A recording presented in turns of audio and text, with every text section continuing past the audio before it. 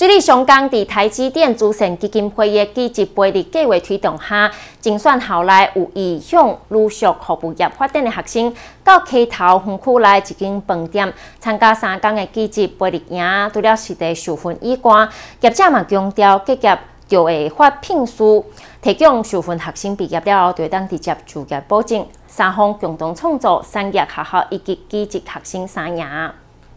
这里香港餐饮科的学生第一天的授训课程，就是先来了解饭店服务业的初心甲用心。饭店业者希望利用为佚佗中来学习的方式，和学生轻松来接受训练。希望能够把愿意就学或是家里需要帮助的孩子，让他们能够有一个工作的机会。所以我们就办了这个三天好两夜的培力营的这个这个呃这个培力营，希望在这中间让他们从中间玩中学好。我们也找到我们合适的人才。那只要表现好的学生，我们都会给个聘书。那我们也知道，呃，像孩子有个聘书，其实他比较会安稳，我起码工作会有保障。其实应该就是说，培植我们在地的青年，然后呢可以回乡服务。那帮助企业再生，然后社会的问题，还有学生可能毕业就就呃一毕业就可以直接是实现就业的这样子的机会。那在这边真的是三天的学习里面，学生的收获是非常的多，然后也真的是很感谢福华饭店提供这样子的机会，还有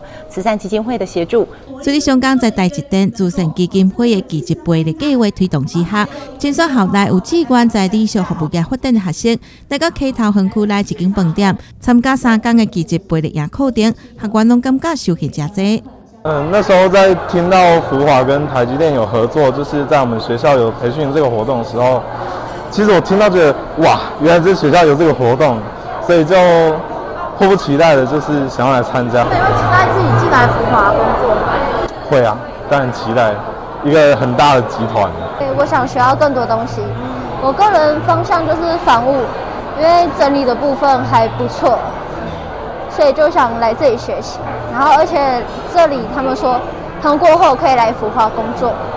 然后也可以职场调步，就是假如你可以在这里，也可以去垦丁之类的。其实，那时候水商在业界就就很多企业都很喜欢用，因为我们的学校培养出来的学生都是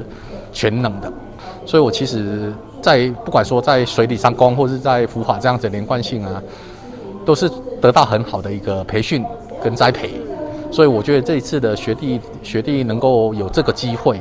然后又有透过台积电合作的模式的训练活动，是是真的很难得的一个机会啊！溪头园区内这间饭店，并且提供受训学生三工免费实际一段，以及毕业就马上就业保证，何助理上岗书生拢感觉特别感动，也真受到鼓励。记者金山插多。